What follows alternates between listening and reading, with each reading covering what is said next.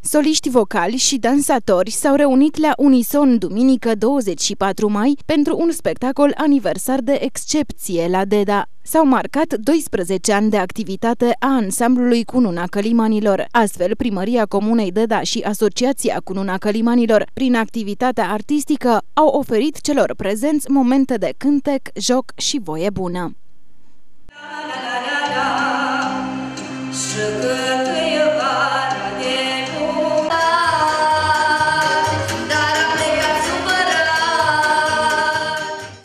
Pe scena Căminului Cultural Deda au pășit membrii ansamblului Cununa Călimanilor, cei mici și cei consacrați, cu suită de jocuri din Valea Superioară a Mureșului, Bucovina, Codru, Câmpia Transilvaniei și Făgăraș. Cei 12 ani de muncă, pasiune și dăruire, sub atenta îndrumare a instructorului coregraf Vasile Gabor, se reflectă în voioșia și vibrația dansului popular pe care le transmit dansatorii ansamblului din Deda.